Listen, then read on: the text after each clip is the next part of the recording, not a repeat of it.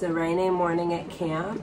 I thought it'd be a good time to um, update you on my eating while I was at the Gulf and some tricks I've had for dealing with restaurants and my doctor's appointment. So I went to the doctor, probably it's been about three weeks now, maybe more. I don't remember the date. It was before school got out. I'm a teacher. So I went to the doctor, and my doctor, as I knew, wouldn't be helpful at all. He just said um, he was okay with renewing my budesonide for another six months because I'm doing well on it, but he's not a good doctor and he's not very friendly. And I have a better a new doctor I'm going to at the on August 24th. So I knew that, so I was okay with just telling my doc that doctor, the GI I'm seeing here, that um, I was still doing good on the budesonide, so he would renew it because I knew I needed something to buy me time until I see a better doctor. And he doesn't really care how I'm doing because I can't hardly eat anything. And when I went down to two budesonide, all my symptoms came back, even though I'm only eating a few things. And I'm working with a nutritionalist.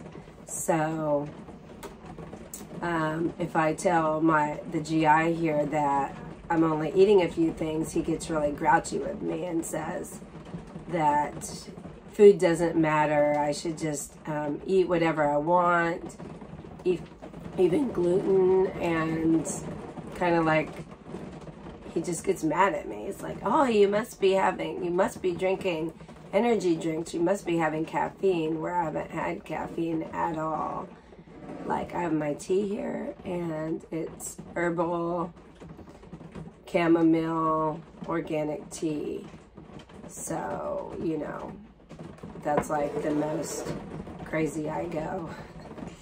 So, there's just no working with him because he gets such a bad attitude toward me if I'm not doing well or if I tell him the truth about how I can't hardly eat anything. He gets mad at me and says I should be eating everything other than dairy, caffeine, and raw vegetables. Every other thing on earth, including gluten, I should be eating and taking the budesonide. So I'm taking the full dose of budesonide every day. And with that, I've been able to tolerate very few foods, but at least I am tolerating some foods. And luckily now I can eat fish. And maybe all along I could. I just had to gradually try different things. Well, one thing I found out early on, which was, okay, it's almost July, so I was diagnosed about seven months ago when I got really sick and lost a lot of weight and they did a colonoscopy and luckily he had sense enough to check for microscopic colitis.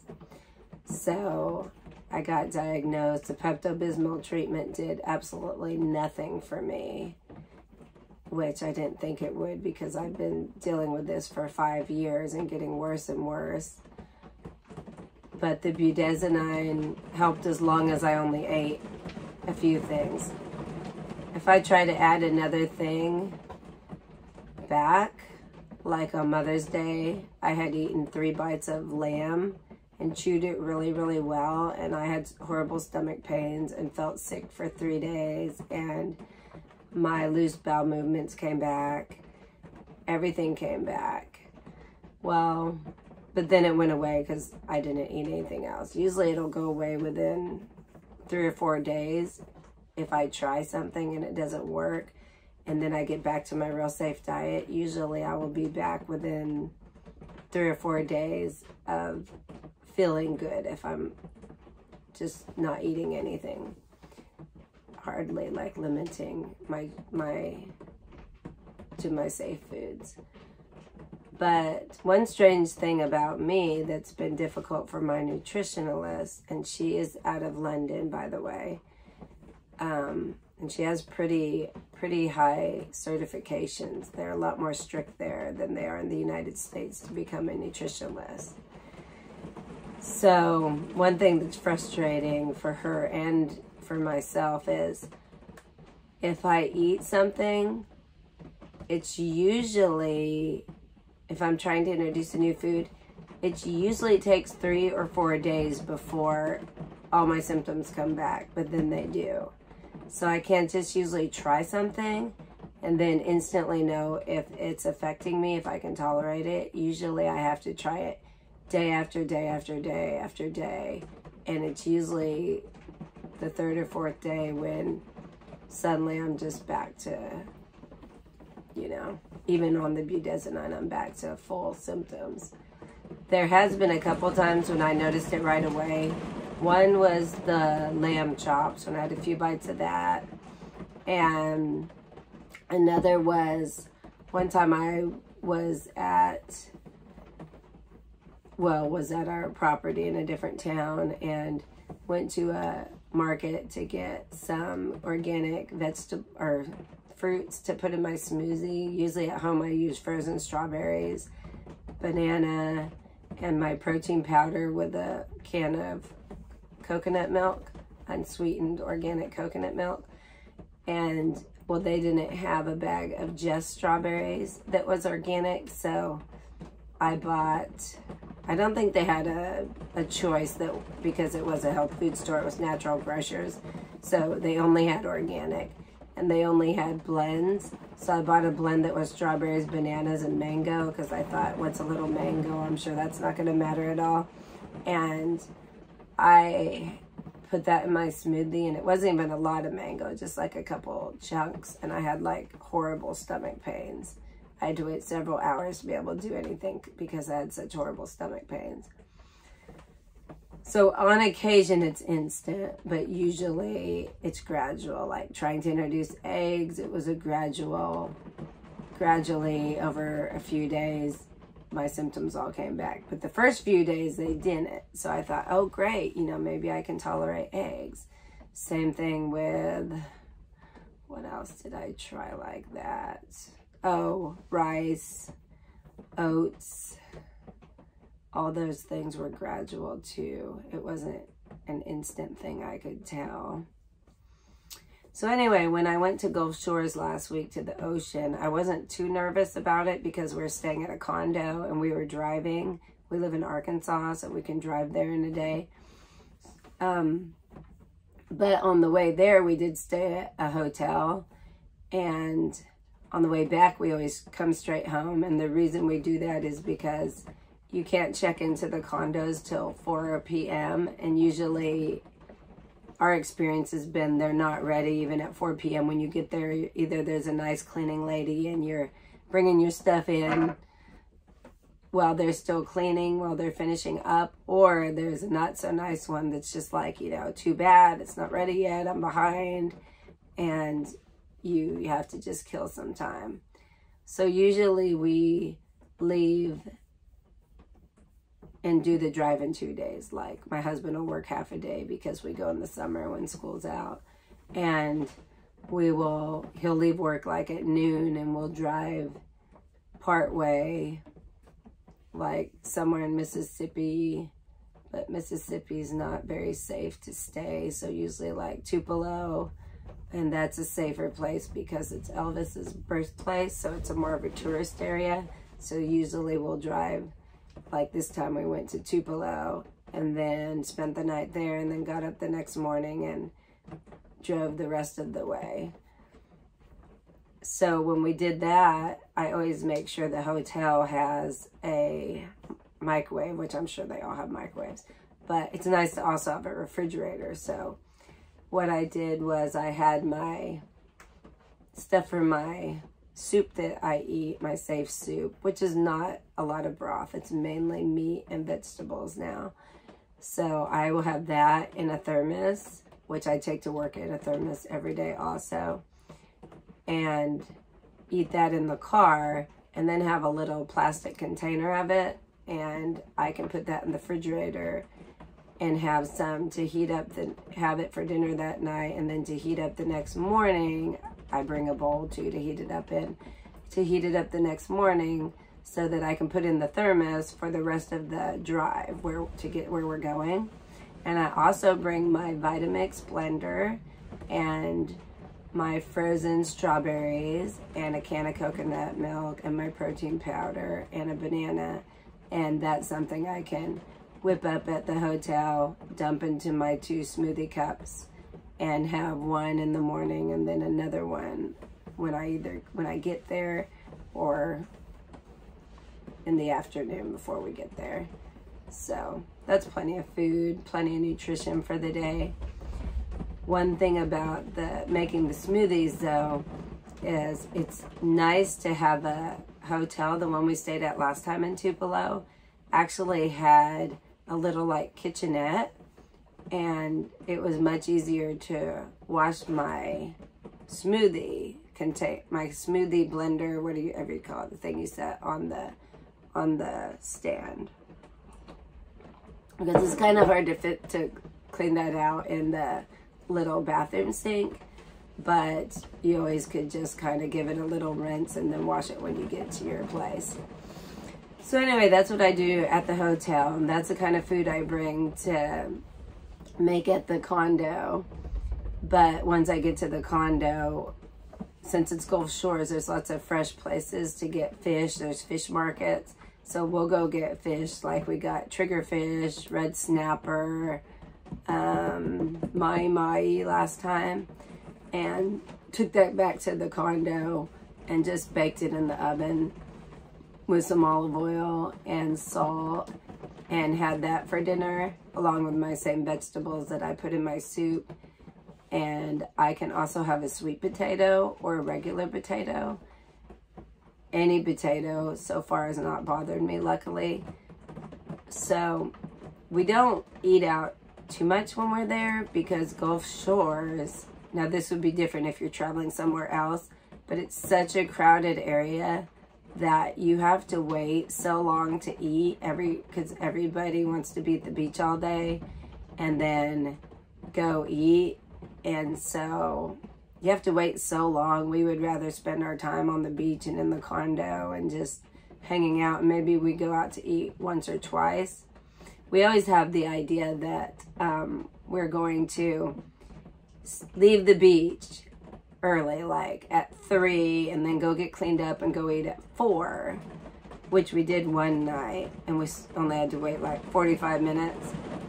So but it's easier said than done because when you're out there on the beach having a good time, you kind of want to just stay on the beach. You don't want to go back early, and that's why nobody does that. And everyone goes at, later at night to eat.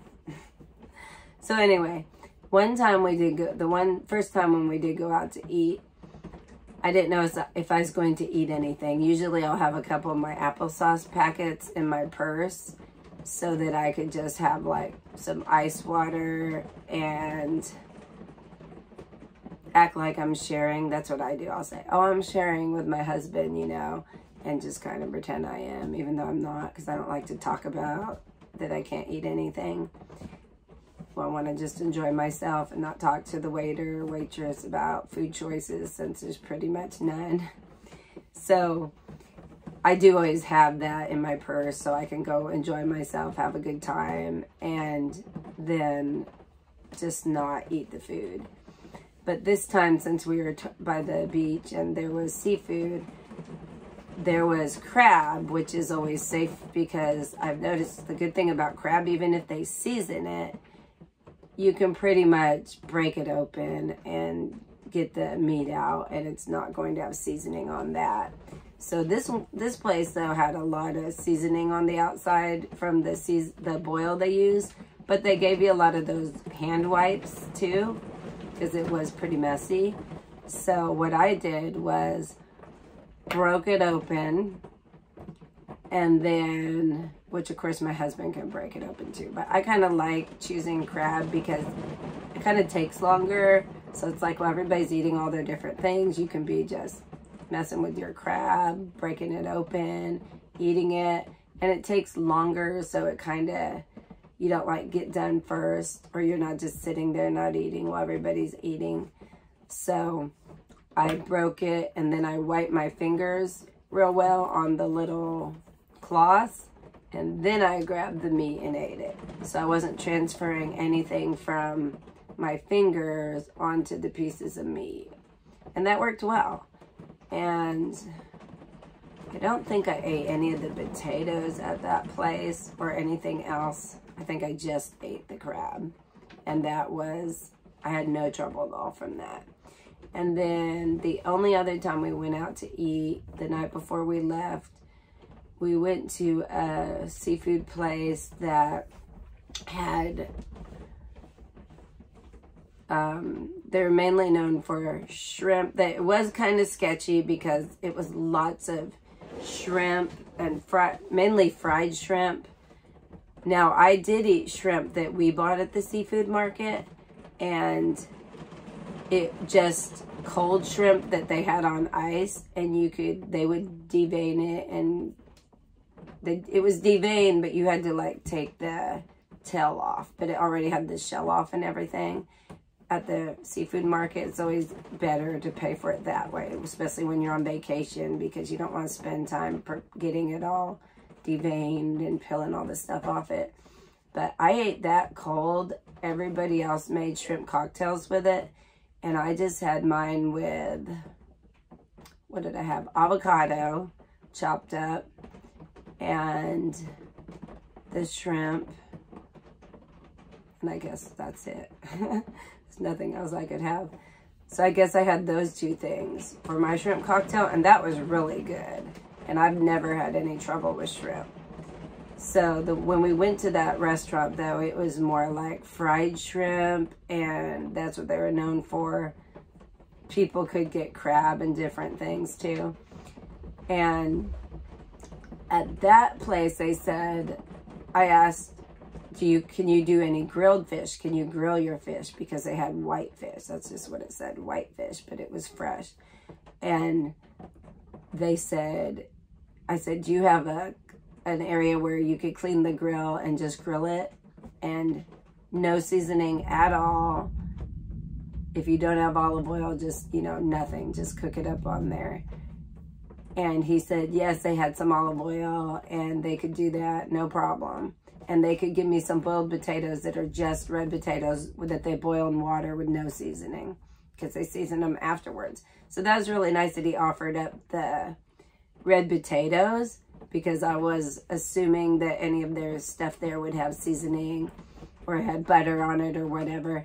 And so when I was talking to him about the fish, he offered up, hey, I could also do you the potatoes, which are plain. And he brought me that, and that was fine. I had no trouble with that either. But whenever I say I have no trouble with something and I'm doing that kind of thing, in the back of my mind, I also know that I'm on full strength budesonide. So I don't feel like these kind of choices would be a good idea to do all the time. I don't know if my body really could heal enough and tolerate. Mm, how, you know, how would I know if maybe there was a little bit of some kind of other something on that fish? I didn't get sick, but I only had it one time. And I don't know how clean their grill really, really would be from any contaminants. Where if I do it at home, I know 100% that it's safe. So that's not something I would just continue to do. And doing it that one time at that place, I felt a little guilty about like maybe I shouldn't have even had it because I am not drug free. And I actually, when I tried to go down to two budesonide, I, I made it. I did good for like seven days. And I was actually wondering at the beginning, probably even of me talking on these videos, I didn't know if budesonide was helping at all. I kind of felt like, you know, it's probably doing nothing for me. I'm taking this drug, it's doing absolutely nothing. I still can't hardly eat anything, and I don't even think it's doing anything. But the way I knew it was doing something, how I found that out was I went down to two when I went to, because I was like, I'll just taper off it. I'm going to see a better doctor in August. I'll let him prescribe me something. But when I tapered down to two, I did good for like seven days. I'm thinking, well, I probably don't even need that stuff. It probably never helped me at all. But then uh, by like the eighth, ninth day, all my symptoms started to come back. So I was like, crap, you know, that sucks. And so got back onto taking three because I am really, really strict with my diet. And I just need to keep doing what I can to heal my body and also work with the new doctor when I get to see him and hope and pray that he's going to actually help me or get figure out if I have something else also going on. So that was pretty much what I did at the Gulf. Now another thing I did and was I did have an alcoholic drink where I hadn't had that. I'd experimented one time just because I wanted to know before I went on vacation um, if it would make me really sick. And so I had experimented with some, um, now my nutritionist had said, she did not recommend, of course, that I try any alcoholic drinks. But I was like, look, you know, I'm going on vacation. I've been so strict for seven months and I'm on, I still had to get back, stay on full strength budesonide. I just know that I'm going to want to have an alcoholic drink. You know, I'm going to want to have some drinks while I'm there. And I just want you to advise me on what would be a good choice because I just know I'm going to do that. I want to live my life. I want to heal, but I am living in the real world and I, I just wanted to do that. So I she advised me that if I was to have something, wine wine would definitely not be a good choice. It would be, and of course not beer, which I wouldn't even have considered even a gluten-free beer. But she said spirits, that's what she said, um, being from UK. And she and so I said, okay, like what kind? And she suggested maybe I would try gin, vodka, rum, something like that, that was more pure. And not mix it with anything except sparkling water, because I can drink sparkling water. And maybe a little bit of something to flavor it that is not sugar and it's not artificial. But sugar would be preferable to something artificial, she said. So when I experimented at home, I tried a little bit of gin, sparkling water, and organic maple syrup, just a tiny bit, and it was fine. I had no trouble. So that was my little experiment. And when I was on vacation and we were at a place and I was wanting to order a drink, they didn't have sparkling water they only had club soda. So I'm Googling club soda. Well, it has other things, you know. So I was like, okay, no. So I told the guys, like, do rum, ice, water, and a little bit of mint sprigs. Because I've had a little bit of mint here and there. Not mint sprigs before, but, you know, I've had, like, mint tea, and I didn't have any trouble. So he did that and then he had some strawberries and he put a couple of chunks of strawberry in there. And that was really good. That was fine. And so i had no trouble with that.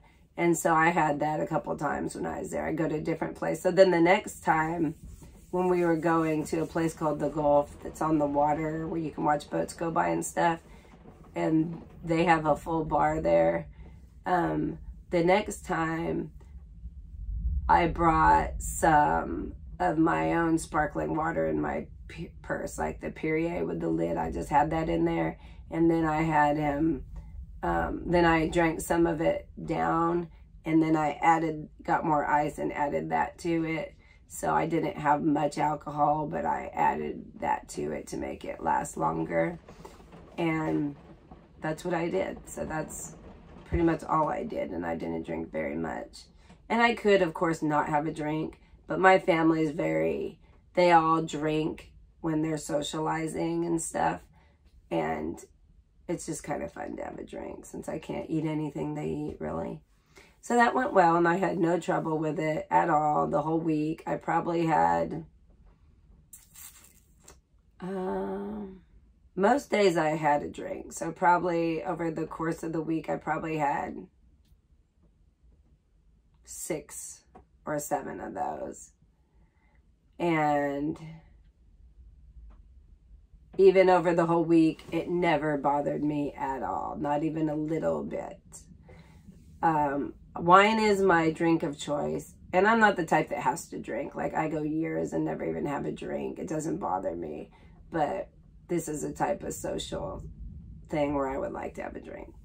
Now, wine would be what I would normally like. I like wine a lot, red wine, but that's not a choice. So this was new to me, trying something that had hard alcohol in it. And I didn't enjoy it as much as drinking wine. Like, I don't even know how to explain it, but it was fine. And I had no trouble. So I don't think I felt sick the entire week at the Gulf. But like I said, I was very, very careful. I just ate my normal foods. Um, I've been taking a Benadryl every night, a clear Benadryl tablet to help with my itching because I have so much severe itching. And it seems like that could be a histamine thing from bananas and avocado. But my nutritionist, I was going to, you know, not eat those. Well, she did not like that idea. She's like, look, I would rather you take a Benadryl just, you know, wine is enough to make me not itch at night so I can sleep. She's like, I'd rather you took a Benadryl than quit eating bananas and avocados. She said, you get such little nutrition to begin with. That's some of the only foods you can tolerate. And I don't want you taking them away and going back to less foods because it is such a gradual thing adding foods to my diet. Before I went on vacation, one thing I tried to add was spinach. I cooked it real well and added it to my soup. That was another one. I did good day one. I did good day two. I did good day three. And I didn't go crazy. I just did like a tablespoon of chopped spinach, like cut it up with scissors, boiled it for a long time, and then put it in my soup.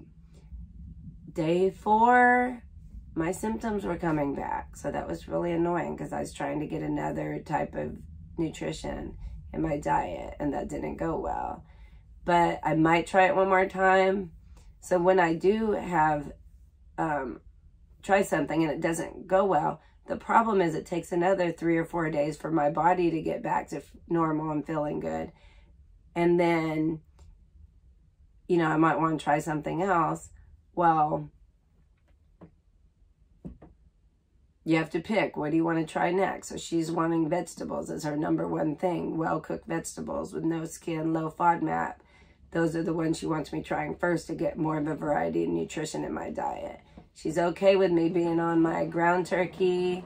Oh, i did try some ground venison just like a tablespoon a day added to my soup and and that's working so that would be a great thing to transition to for another protein because I can't get turkey here that is not injected with rosemary.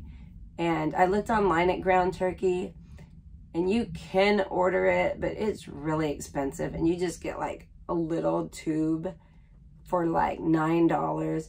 Well, I eat like six pounds of ground turkey a week because it's one of the only proteins I eat. I usually have that every day for lunch. And then for dinner, I have fish. So if I could transition to half and half venison, um, we can, we're Arkansas people, we hunt, and that's something we can have that is safe.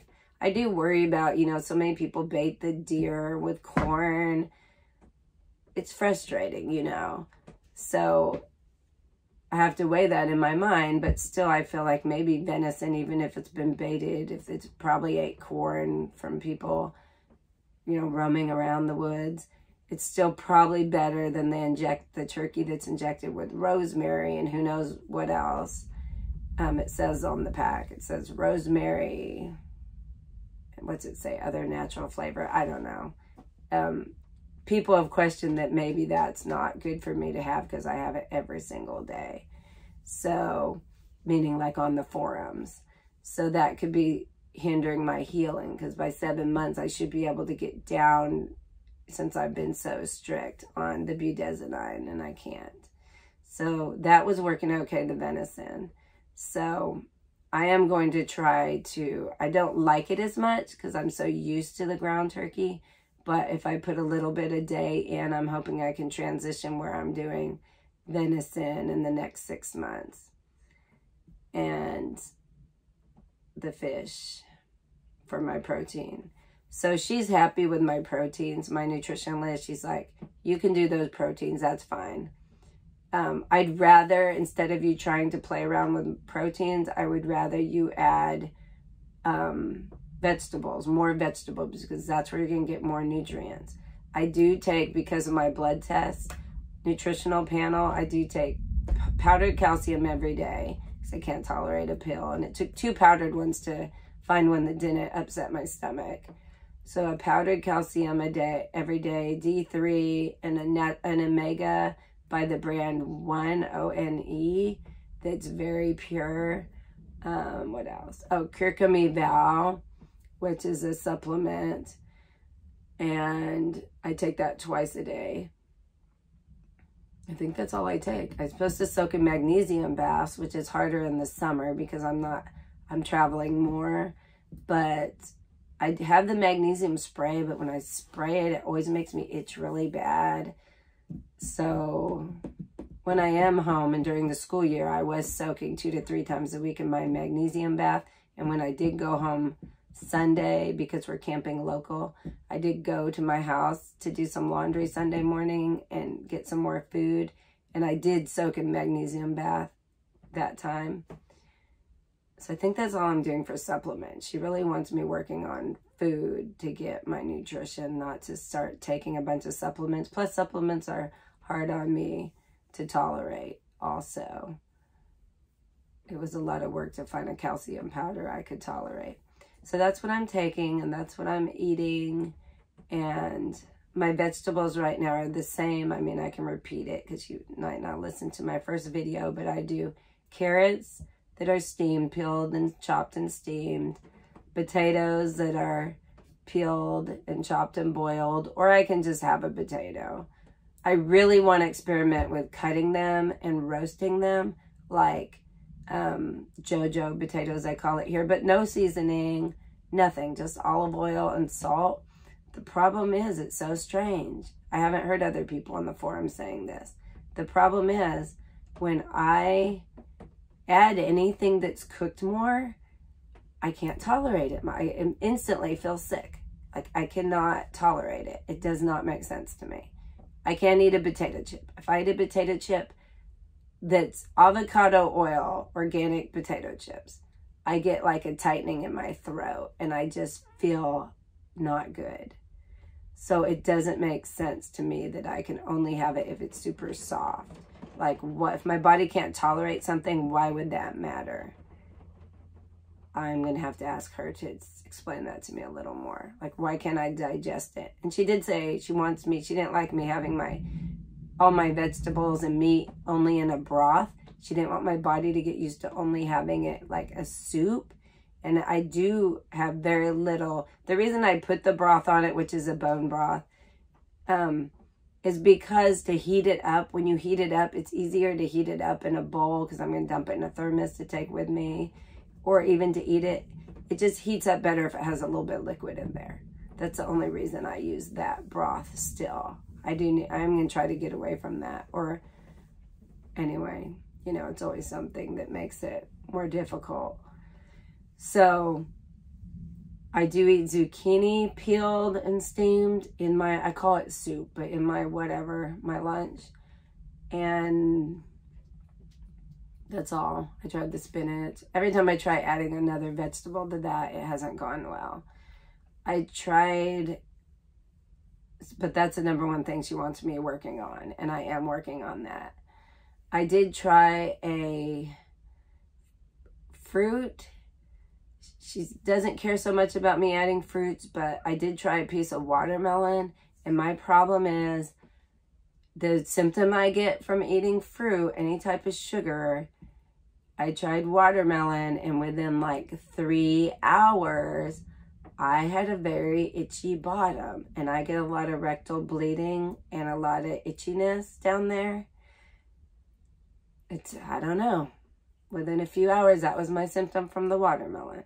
So, and it seems to be any type of fruit or much or sugar. I do my Simply Gum and my Simply Mints, which is um, very few ingredients. I do okay on that, luckily. I was doing my ginger chews, which was such a treat to have those once in a while. I got the itchiness. Any fruit at all gives me the itchiness. I, other than um, my strawberries, but strawberries really aren't sweet. I put my smoothie frozen strawberries and they and they're not organic. I just buy the big bags of the cut up frozen strawberries from Walmart, like a six or seven pound bag, and I go through two of those a week. I spend a lot of money on my supplements and my coconut milk that I order off Amazon and my protein powder. And I just, I mean, I want to spend every single penny I have. Well, you know what I mean? I'm already spending like $350 a week just on that stuff I order or buy. And, you know, I don't know. I could go all organic strawberries, but my nutritionist is like, look, just buy the big bags of strawberry. It's fine. Put them in there. Make your smoothies with it because each little bag's like $5 and you get this tiny amount, like one smoothie. And I get that big bag for like 7. Um, dollars and it makes lots and lots of smoothies. So anyway, I'm going to end this because it's getting really long and I'm sorry about that. But if anybody's wanting to information on someone else's microscopic um, colitis, I just wanted to share this because when I look online, there's not a lot out there. Just doctors that say, that are not helpful and doctors that say, you know, diet doesn't matter, which is so stupid.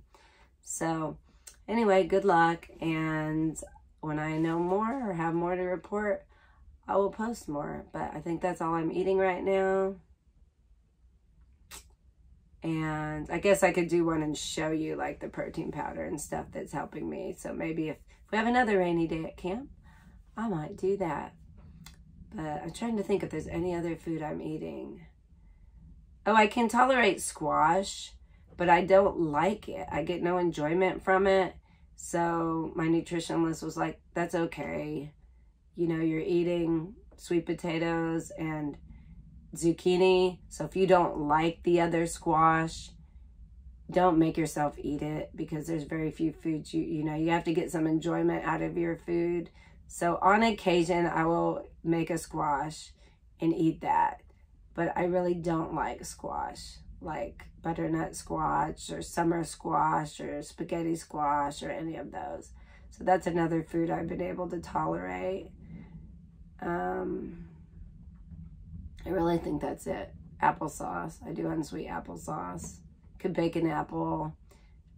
Um, that's just not that exciting to me. so, anyway, that's it. And please share your story if you have a microscopic colitis story. And I do have lymphocytic colitis, if that matters. And my grandmother had Crohn's disease and ulcerative colitis. Um, if that matters to anybody. I feel mine definitely came on when I contracted C. diff. It brought back, it brought those genes into play in my life and it's never been the same since I got C. diff, contracted that five years ago. And I got worse and worse every single year. And I restricted my diet more and more until my body just rejected everything and that led me to the doctor. So have a great day.